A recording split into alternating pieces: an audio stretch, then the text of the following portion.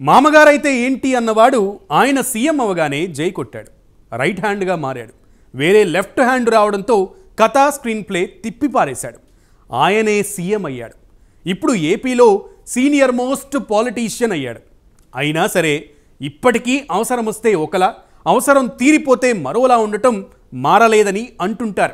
ఆచితూచి అడుగు వేస్తానంటూనే ఆ అడుగులన్నీ ఆయన వైపే వేస్తాడనేది పెద్ద విమర్శ. అలాంటి చంద్రబాబు నేచర్ ఎలాంటిదో చరిత్ర చూస్తే తెలుస్తుంది. ఇందులో అపవాదులు కూడా చాలా ఉన్నాయండోయ్.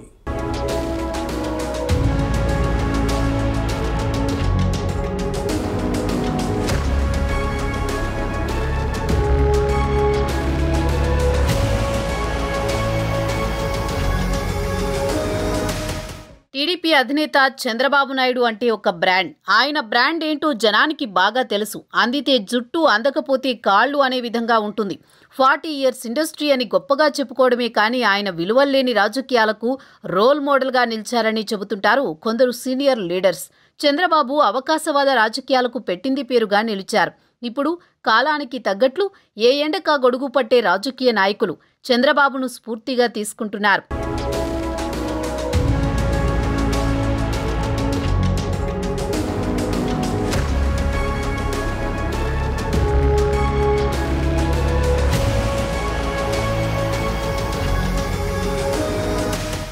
రాజకీయాల్లో ఎదిగేందుకు బాబు చేయని ప్రయత్నాలంటూ లేవు. అధికారంలోకి వచ్చేందుకు ఏదైనా చేస్తారు. ఎందాకైనా వెళ్తారు. ఎన్టీఆర్ సీఎం అవగానే ఆయనకు జై కొట్టారు. అన్ని విషయాలన్నీ దగ్గరుండి చూసుకున్నారు. పదవి కాంక్షతో ఎన్టీఆర్ను గద్దెదించడానికి లక్ష్మీ పార్వతిని అడ్డుపెట్టుకుని ఆయన చేసిన కుట్రలు అన్నీ ఇన్ని కావు. అలాగే తోడలుడు దగ్గుపాటి వెంకటేశ్వరరావును ఎలా యూజ్ చేసుకుని తర్వాత వదిలేశారనే విమర్శలు ఉన్నాయి.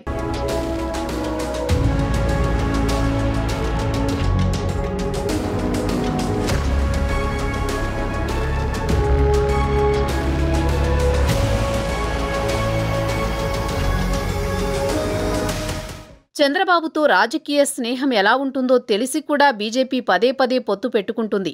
రెండు వేల పద్నాలుగు ఎన్నికల్లో కమలంతో కలిసి నడిచారు. అధికారంలోకి వచ్చిన చంద్రబాబు నాయుడు ఇటు రాష్ట్ర కేంద్ర కేబినెట్లలో అధికారాన్ని పంచుకున్నారు. రెండు వేల పంతొమ్మిదికి వచ్చేసరికి చంద్రబాబు యూ టర్న్ తీసుకున్నారు. ప్రధాని మోదీపై తీవ్రస్థాయిలో విమర్శలు చేశారు. ఎట్టి పరిస్థితుల్లోనూ మోదీని పీఎం చెయ్యనివ్వనని శపథం చేశారు.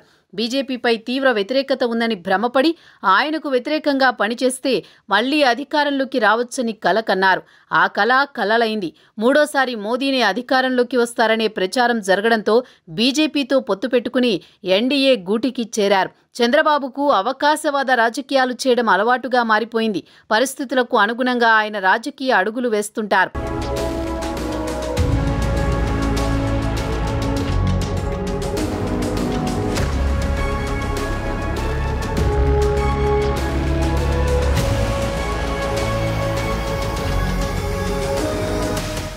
గత ఎన్నికలకు ముందు ఎన్డీఏ నుంచి బయటకొచ్చి కాంగ్రెస్తో చెట్టాపట్టాలేసుకుని తిరగడానికి దేశ ప్రయోజనాలని చంద్రబాబు అన్నారు. ఎట్టి పరిస్థితుల్లోనూ మరోసారి మోదీని ప్రధాని కానివనని శపథం చేశారు.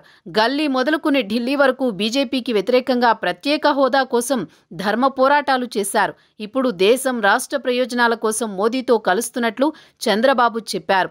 వాస్తవానికి చంద్రబాబు కేసుల నుంచి బయటపడేందుకే తన స్వప్రయోజనాల కోసమే బీజేపీతో పొత్తు పెట్టుకున్నారని చెబుతూ ఉంటారు ఎక్స్పర్ట్స్.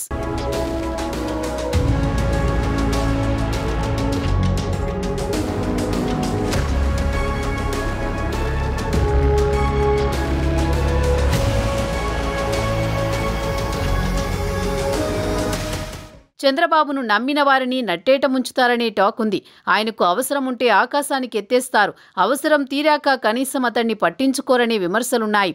కేసుల నుంచి తప్పించుకునేందుకే బాబు బీజేపీతో చెట్టాపట్టాలేసుకుని తిరుగుతున్నారనే ప్రచారం జరుగుతోంది. వారణాసిలో ప్రధాని మోదీ నామినేషన్ కార్యక్రమానికి హాజరయ్యారు. ఒకవేళ టీడీపీ అవసరం బీజేపీకి వస్తే బాబు రియాక్షన్ మాత్రం అదిరిపోయేలా ఉండనుంది.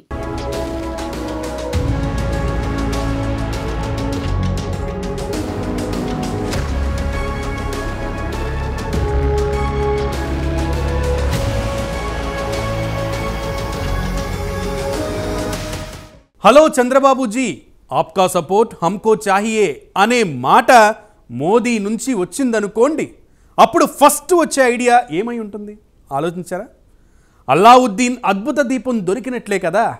మరి బాబుగారు ఏమడుగుతారు? ఏ డిమాండ్ను రిక్వెస్ట్ రూపంలో పెడతారు? ఏ కోరికను సొఫెస్టికేటెడ్గా అడిగేస్తారు? అసలు ఏం చేస్తారు? చాలా ఇంట్రెస్టింగ్గా ఉంది కదా? చూద్దాం ఏం జరగబోతోందో.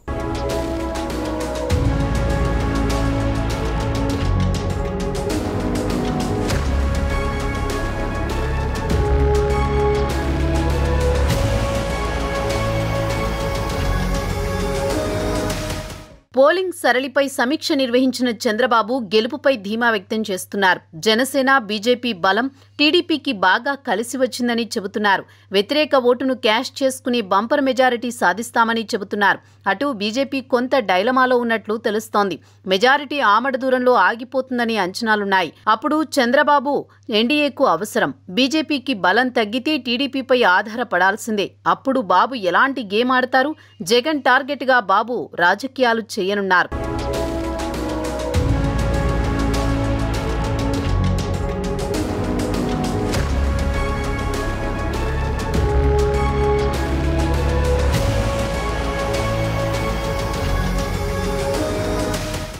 జూన్ నాలుగు కోసం ఏపీ వాసులు ఎంతో ఆసక్తిగా ఎదురుచూస్తున్నారు. ఈసారి ఏపీలో అనూహ్య ఫలితాలు వెలువడనున్నాయి. ఎవరి లెక్కలు వారికి ఉన్నాయి. గెలుపుపై ఆయా పార్టీల అధినేతలు ధీమా వ్యక్తం చేస్తున్నారు. ఓటింగ్ సరళిని బట్టి చూస్తే ప్రభుత్వ వ్యతిరేకత స్పష్టంగా కనిపిస్తోందనే ఇండికేషన్స్ వస్తున్నాయి. టీడీపీ సొంతంగానే మెజారిటీ సాధిస్తుందనే నమ్మకంతో ఉన్నారు చంద్రబాబు. ఫార్టీ ఇయర్స్ ఇండస్ట్రీ నేత గెలుపు వ్యూహాలు పక్కాగా అమలు చేశారని గెలుపు కాదు బంపర్ మెజారిటీ వస్తుందనే ధీమాతో ఉన్నారు. అటు కేంద్రంలో కూడా ముచ్చటగా మూడోసారి అధికారంలోకి వస్తుందని చెబుతున్నారు. కానీ విపక్షాలు కొన్ని సర్వే సంస్థలు మాత్రం బీజేపీకి సీట్లు తగ్గే అవకాశం ఉందంటున్నారు. మ్యాజిక్ ఫిగర్కు అటూ ఇటూ రావచ్చని అంచనాలున్నాయి. ఇలాంటి పరిస్థితుల్లో మిత్రపక్షాలపై ఆధారపడాల్సిందే. అటు చంద్రబాబు అవసరం బీజేపీకి ఎంతో అవసరం. దాన్ని క్యాష్ చేసుకుని టీడీపీ అధినేత ఎలాంటి గేమ్ ఆడనున్నారనే విషయంపై సర్వత్రా ఆసక్తి నెలకొంది.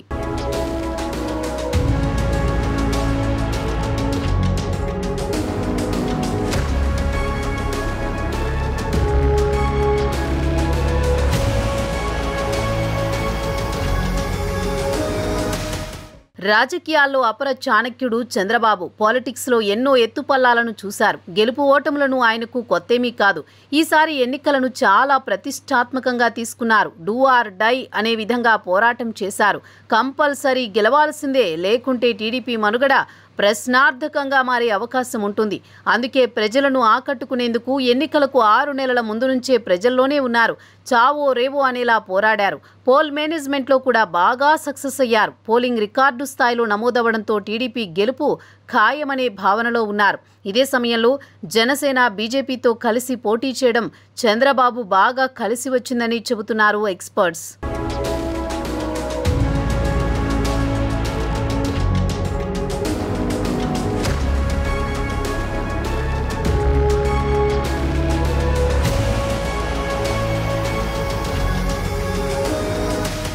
కూటమిలో అతిపెద్ద పార్టీ టీడీపీ సొంతంగానే ప్రభుత్వాన్ని ఫామ్ చేస్తామనే నమ్మకంతో ఉన్నారు చంద్రబాబు. అటు కేంద్రంలో మాత్రం బీజేపీకి కొంత వ్యతిరేక పవనాలు వీస్తున్నట్లు తెలుస్తోంది. యూపీ బీహార్ మహారాష్ట్ర ఈశాన్య రాష్ట్రాల్లో సీట్లు తగ్గే అవకాశం ఉందంటున్నారు ఎక్స్పర్ట్స్. కొన్ని నివేదికలు కూడా అలాంటి ఇండికేషన్సే ఇచ్చాయి. ఇలాంటి టైంలో మోదీకి మిత్రపక్షాల మద్దతు అవసరం. ముఖ్యంగా చంద్రబాబు సపోర్ట్ చాలా అవసరం కూడా. లేకుంటే ప్రభుత్వాన్ని ఏర్పాటు చేయడం కష్టమయ్యే అవకాశాలుంటాయి. పరిస్థితిని బట్టి చంద్రబాబు కేంద్రం ముందు కొన్ని కండిషన్స్ పెట్టే ఛాన్స్ ఉందంటున్నారు. బీజేపీకి కావలసింది అధికారం. దానికోసం వాళ్ళు ఎంతవరకైనా వెళ్తారు. అందుకే ఈ పదేళ్ళలో కమలమాడిన రాజకీయ చదరంగమును చూస్తే తెలుస్తోంది. అప్పుడు చంద్రబాబు పెట్టే డిమాండ్స్ అన్నీ ఓకే చెప్పనున్నారు.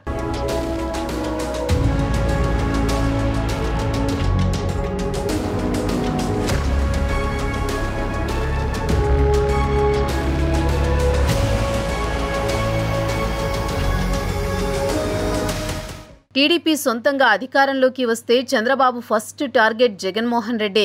ఏ తప్పు చేయకపోయినా దాదాపు రెండు నెలలు జైలుకు పంపిన సీఎంపై పగ తీర్చుకోవడం పక్కా. అందులో నో డౌట్ అటు జగన్ అధికారంలోకి వచ్చినా జరిగేది కూడా ఇదే. చంద్రబాబునే టార్గెట్ చేస్తారు. ఓటింగ్ సరళిని పరిశీలిస్తే మాత్రం టీడీపీకే విజయావకాశాలు ఎక్కువగా ఉన్నాయి. గెలుపు ఇండికేషన్స్ అయితే వస్తున్నాయి. పలువురు ఎక్స్పర్ట్స్ కూడా అదే విషయం చెబుతున్నారు. చంద్రబాబు అధికారంలోకి వస్తే వైసీపీని నామరూపాలు లేకుండా భూస్థాపితం చేసేందుకు ప్రయత్నిస్తారనే టాక్ వినిపిస్తోంది. ఇన్నాళ్ళు కేంద్రం అండదండలతో బెయిల్పై బయట ఉన్న జగన్ ఫలితాల తర్వాత సీన్ మొత్తం మారిపోయే ఛాన్స్ ఉంటుంది. ఏపీ రాజకీయాలు మొత్తం చేంజ్ అవుతాయి.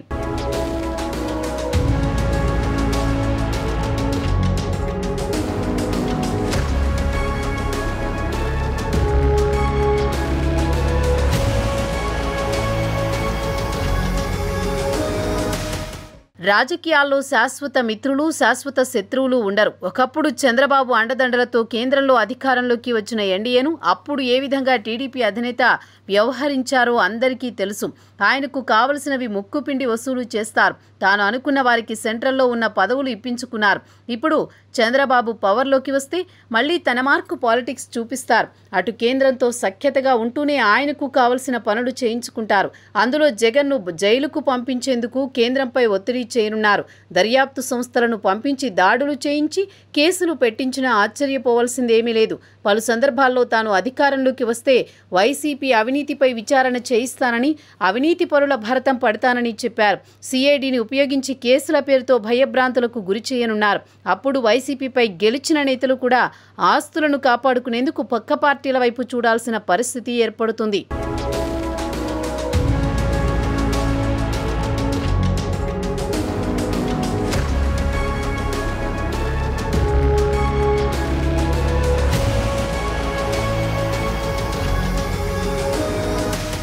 చంద్రబాబు అటు కేంద్రం అండదండలు ఇటు రాష్ట్రంలో పవర్ రెండింటినీ వాడుకుని జగన్ను ముప్పు తిప్పలు పెడతారనే టాక్ నడుస్తోంది.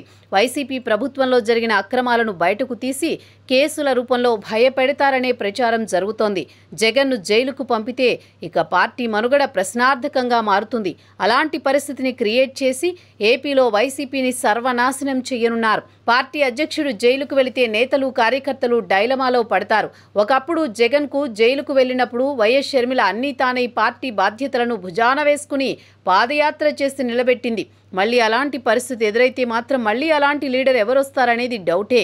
ఎందుకంటే షర్మిల లాంటి డేరింగ్ లీడర్షిప్ క్వాలిటీస్ ఉన్న నేతలు ప్రస్తుతం జగన్ ఫ్యామిలీలో ఎవరూ లేరనే చెప్పాలి. అందుకే చంద్రబాబు ఫస్ట్ ఫోకస్ మొత్తం జగన్ మీదనే ఉండనుంది.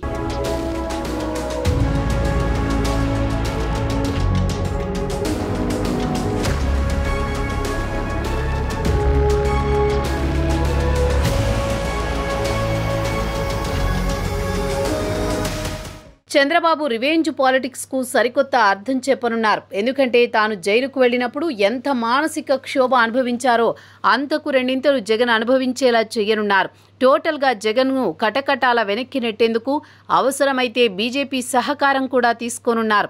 కమలం పార్టీకి కావాల్సింది పవర్. సెంట్రల్లో బలం లేకపోతే ఏపీలో మిత్రపక్షమైన టీడీపీని వదులుకోరు. వారికి ఇష్టం ఉన్నా లేకున్నా బాబు చెప్పింది వినాల్సిందే.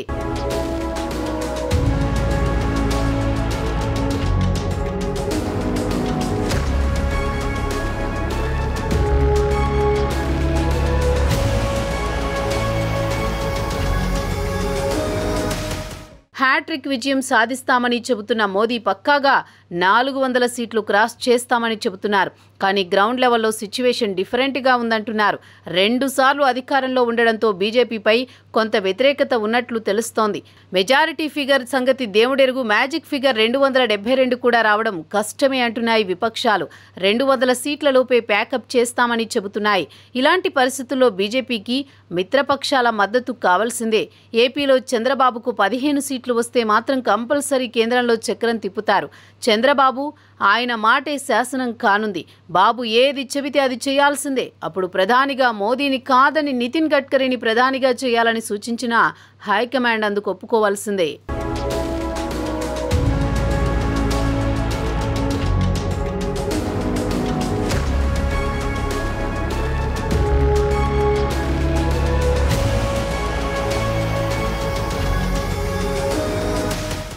ముందు శత్రువు పని పట్టాలి. ఆ తర్వాత మళ్ళీ పవర్ రావాలంటే పెర్ఫార్మెన్స్ చూపించాలి. అసలే జనం ఇదివరకులా లేరండోయ్. ఏదైనా చేసి చూపిస్తేనే మరోసారి ఛాన్స్ ఇచ్చేది. అందుకే ఫస్ట్ అమరావతిని కట్టాలి. పోలవరం పూర్తి చేయాలి. ఇలాంటివెన్నో చేయాలి. వీటితో పాటు తనను నమ్ముకున్న వారికి కూడా మేలు చేయాలి కదా. అది ఎలా చేయాలి? ఇలా బాబుగారి బ్రెయిన్లోకి మనం దూరిపోయి ఒకసారి ఆలోచిద్దాం.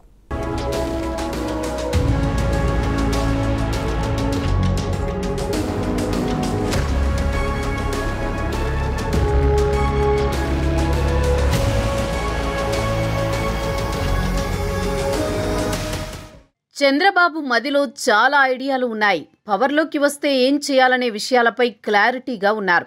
ఎన్నికల ప్రచారంలో కూడా ఆ విషయాలను పదే పదే ప్రస్తావించారు.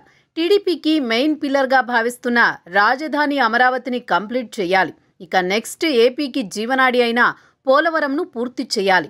మరోవైపు చంద్రబాబుకు కష్టకాలంలో అండగా ఉన్నవారికి కేంద్ర కేబినెట్లో పదవులు ఇప్పించేలా ప్రయత్నించాలి. ఇవన్నీ జరగాలంటే టీడీపీ ఫుల్ మెజారిటీ రావాలి. అటు కేంద్రంలో బీజేపీకి మ్యాజిక్ ఫిగర్కు కాస్త దూరంలో ఉండాలి. అప్పుడే చంద్రబాబు ఆడిందే ఆట పాడిందే పాటగా సాగుతుంది. మరోవైపు ఎన్నికల హామీలను నెరవేర్చేందుకు అవకాశం ఉంటుంది. కేంద్రం నుంచి భారీగా నిధులు రాబట్టుకునే ఛాన్స్ ఉంటుంది. ఆ విషయంలో బాబును మించిన వారెవరూ ఉండరు.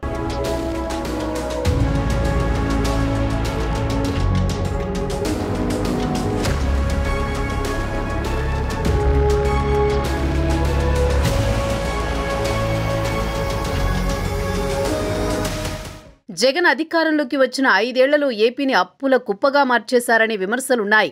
సంక్షేమ పథకాలకు వేల కోట్లు ఖర్చు చేశారు. చంద్రబాబు కూడా మేనిఫెస్టోలో చెప్పిన హామీలను అమలు చేయాలంటే కేంద్రం సహకారం కావాల్సిందే. అటు క్యాపిటల్ పోలవరం పూర్తి చేయాలన్న సెంట్రల్ నుంచి నిధులు రావాల్సిందే. ఏపీని ఆదుకోవాలన్నా అభివృద్ధి పనులు చేపట్టాలన్నా కేంద్రం సహకారం అవసరం ఉంటుంది. లేకుంటే అవన్నీ చేయడం సాధ్యం కాదు. మరోవైపు చంద్రబాబుకు అండదండగా ఉన్న వారిని ఎక్కించాల్సి ఉంటుంది. మరోవైపు మరికొందరి నేషనల్ వైడ్ బిజినెస్లకు మేలు చేయాల్సిందే. లేకుంటే ఎన్నికల సమయంలో పార్టీకి ఫండింగ్ చేయరు అలా టీడీపీ గొడుగు కింద ఎదిగిన వారు చాలామంది ఉన్నారు. కోటీశ్వరులకే చంద్రబాబు టికెట్ ఇచ్చారు కూడా.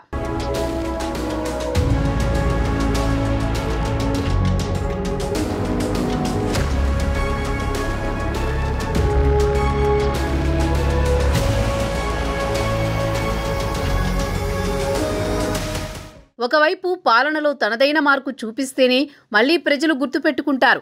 లేకుంటే సరైన సమయంలో బుద్ధి చెబుతుంటారు. ఏపీ అభివృద్ధికి తీసుకునే నిర్ణయాలపైనే టీడీపీ భవిష్యత్తు ఆధారపడి ఉంటుంది. లేకుంటే ప్రజలు పాతాళానికి తొక్కేస్తారు. ప్రజల్లో చైతన్యం బాగా వచ్చింది. ఎవరిని ఎక్కడ ఉంచాలో ఎవరిని పక్కన పెట్టాలో వారికి బాగా తెలుసు. ఎన్నికల్లో ఓటర్లు ఇచ్చే తీర్పు రెఫరెండంగా భావించాల్సి ఉంటుంది.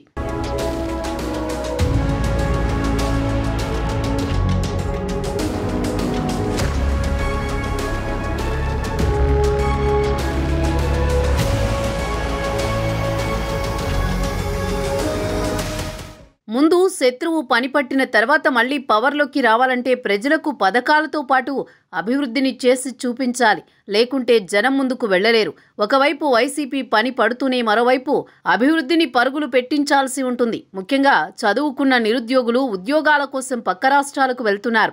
వారి కోసం కంపెనీలు పెట్టి ఉపాధి అవకాశాలు సృష్టించాల్సి ఉంటుంది. సీఎం జగన్ పెట్టుబడులు పెట్టామని చెబుతున్నా అలాంటి పరిస్థితి రాష్ట్రంలో కనిపించడం లేదు. అందుకే యువత ప్రభుత్వంపై తీవ్ర వ్యతిరేకత వ్యక్తం చేస్తోంది.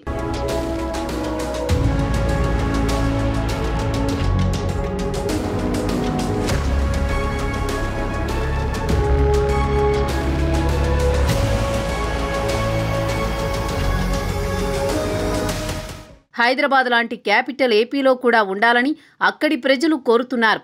పదేళ్ళు అవుతున్న ఏపీకి రాజధాని లేని పరిస్థితి. మహానగరం నిర్మించాలంటే చంద్రబాబు వల్లే సాధ్యమవుతుందనే నమ్మకంతో ఉన్నారు అక్కడి జనం. అటు ప్రజలు ఇటు యువత ఆశలను నెరవేర్చాలంటే బాబు రేంజ్లో పర్ఫార్మెన్స్ చేయాల్సి ఉంటుంది. జగన్మోహన్ రెడ్డి గారికి వస్తుందా?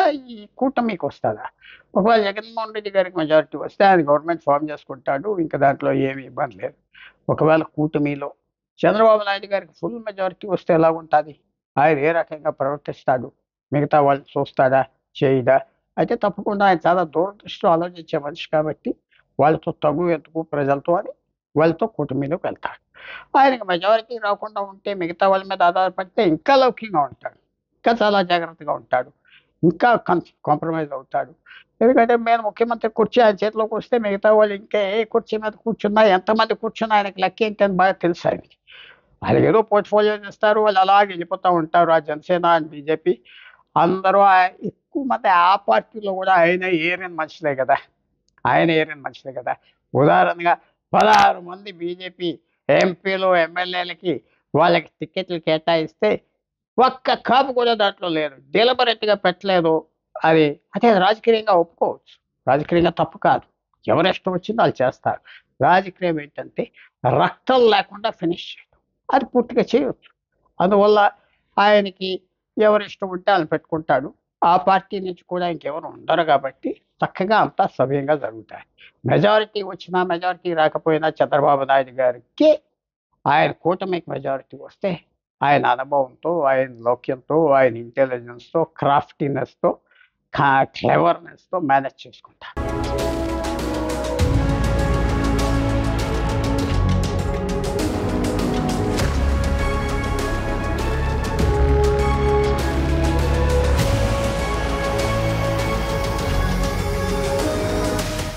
చంద్రబాబు జగన్పై ప్రతీకారం తీర్చుకుంటే వైసీపీ మనుగడ ప్రశ్నార్థకంగా మారుతుంది. అప్పుడు కూటమిలో పెద్ద పార్టీ అయిన జనసేన ప్రతిపక్ష పాత్ర పోషించాల్సి ఉంటుంది. పవన్ కళ్యాణ్ టీడీపీకి ప్రత్యామ్నాయంగా మారే ఛాన్స్ ఉంది. ఆంధ్రప్రదేశ్ అట్లాగే భారతదేశం అంతటా కూడా పార్లమెంటు అట్లాగే ఆంధ్రప్రదేశ్ అసెంబ్లీ ఎన్నికల రిజల్ట్స్ వచ్చేదాకా ఈ ఊహాగానాలు కొనసాగుతూనే ఉంటాయి.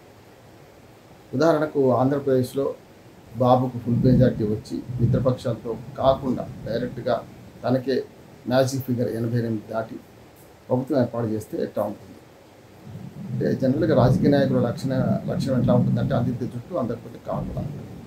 కానీ నియంత్రణ దృక్పథం అట్లా ఉండదు. అందినా అందకపోయినా జుట్టే అంటారు. అందుకనే జగన్మోహన్ రెడ్డి గతంలో కాంగ్రెస్ పార్టీ తిరస్కరించిన కాంగ్రెస్ పార్టీలో ముఖ్యమంత్రి కానియకపోయినా బయట ఒక పార్టీ పెట్టుకొని ముందుకొచ్చారు తప్ప అదే పార్టీలో కొనసాగలేదు. అట్లా మోడీ కానీ కేసీఆర్ కానీ జగన్మోహన్ రెడ్డి వీళ్ళు అందరి మనస్తత్వం ఒక రకంగా ఉంటుంది. చంద్రబాబు నాయుడు గారు అట్లా కాదు డిప్లొమాట్ అందినా అందకున్నా జుట్టు పట్టుకుందాం అనే రకం కాదు. కనుక అందకపోతే లుంగి ఉండరు. అందుకే మాత్రం ఖచ్చితంగా హై హ్యాండెడ్నెస్ ప్రదర్శిస్తారు. అది చంద్రబాబు లక్షణం. ఆయన డిప్లొమాట్ కనుక రాజకీయాలు అన్నీ చూశాను ఓ రకంగా అంతకుముందు మనకు ఎన్టీ రామారావు గారు ఫ్రంట్ ఎట్లా పెట్టిండ్రో తను కూడా దేశవ్యాప్త రాజకీయ నాయకులు లేఖం చేయడంలో ఆయన రాజకీయ చాణక్యం చూపించారు కూడా. కానీ ఇప్పుడు రాజకీయ చాణక్యాన్ని చూపించే సమయం కాదు. మిత్రధర్మం పాటిస్తే వచ్చిన సీట్లు ఎక్కువ వచ్చిన ఎనభై ఎనిమిది మ్యాజిక్ ఫిగర్ తెలుగుదేశానికి ఒకటే దాటినా అరా కొర మూడో ఐదో తొమ్మిదో మిత్రపక్షాలకు అంటే జనసేనకు కానీ బీజేపీ కానీ వస్తే వాళ్ళు కలుపుకునే పోతారు. గతంలో నూట ఒక్క సీట్లు వచ్చినప్పుడు కూడా చంద్రబాబు నాయుడు రెండు వేల పద్నాలుగులో బీజేపీకి మంత్రి పదవులు ఇచ్చారు. అక్కడ కేంద్రంలో వీరు సంకీర్ణ పోతులు చేరారు.